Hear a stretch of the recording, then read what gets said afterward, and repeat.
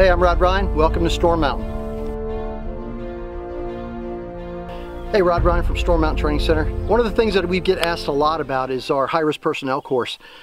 The, one of the big emphasis things that we talk about in that course is how to deal with a vehicular counter ambush situation. And the answer is this.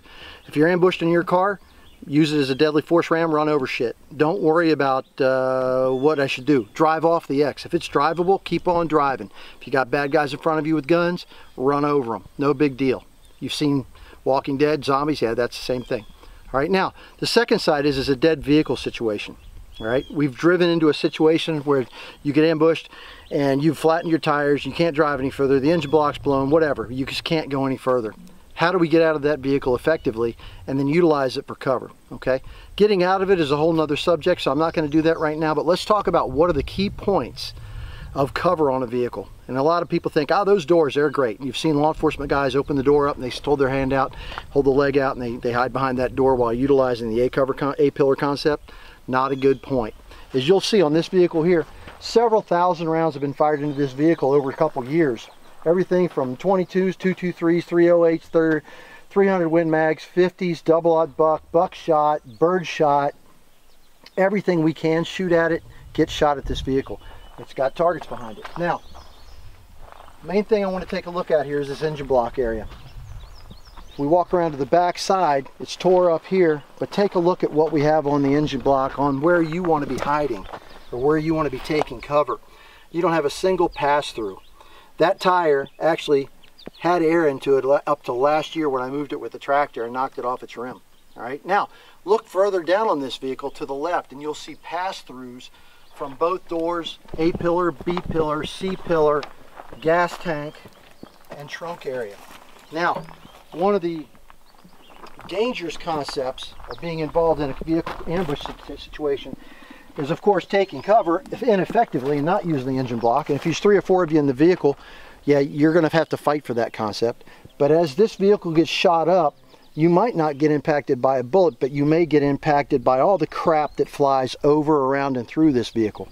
As you can see, anything but from a piece of rubber to interior plastic, mirrors, all types of stuff actually come through this vehicle as it's hit by a projectile and it goes as fast as a projectile when it's hit. Now, that dissipates very quickly and I don't think it's going to kill you, but it could incapacitate you to the point where you can't shoot effectively. I tell people all the time, if you're driving, you should be wearing shooting glasses. In daytime, use uh, grays or clears. At nighttime, use clears or ambers. Uh, you want to protect your eyes. I've been in two vehicle ambushes uh, locally by criminals, not bad guys in Baghdad or anything like that. And the glasses saved my eyes and I was able to deal with the problem effectively, where I might have been blinded by the glass coming in the vehicle otherwise. So Big thing is engine block is your clear choice first. Secondary would be your rear axles, if it has a real axle, and steel wheels. If it's got aluminum wheels and, an, and a small I-beam axle, not a great place to be, but it's better than anywhere else, which is in front of the doors or the trunk area. All right, now, we always get asked this too. Will the vehicle blow up? Every vehicle on this range still has gas in it. We've been trying to blow vehicles up here for 20 years and it doesn't happen. I'm not saying it can't happen, we just can't make it happen. If it's leaking gas and you get a skip shot underneath and it ignites, yeah, there's a good chance you're going to have a fire. That doesn't mean it's going to blow up. We have caught cars on fire before. We've just not got them to explode. Don't freak out. Look for a new point of cover. Once you get out of this vehicle, use cover, return fire effectively if you can.